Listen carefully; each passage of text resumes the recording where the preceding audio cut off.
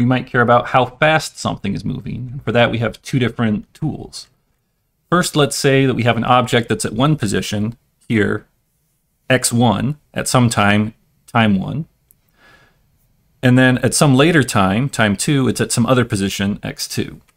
We can define our average velocity, v bar, so this is a bar over the top to indicate the average, as the displacement between those two points divided by the elapsed time that it takes to travel between those two points.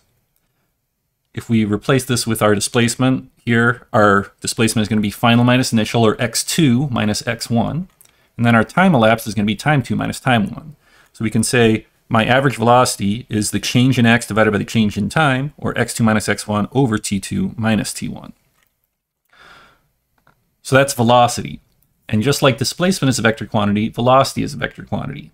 That means that when we're traveling in the positive x direction, we have a positive velocity when we're traveling to the right here. And when we're traveling in the negative x direction, we have a negative velocity.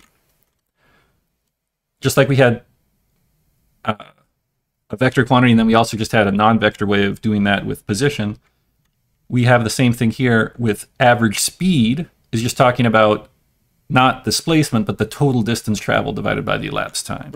So if I want to know my average speed over some time, time interval, I look at the total distance traveled, not the displacement, but just the total distance divided by the elapsed time.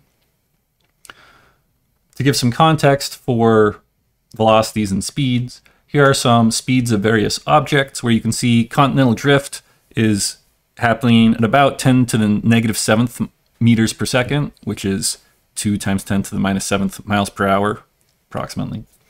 Um, we can walk about 2 meters per second or 4 miles per hour. That's a pretty quick walk. Most people walk between 2 to 3 miles per hour, and so forth, up to uh, very fast things like the orbital speed of Earth around the sun.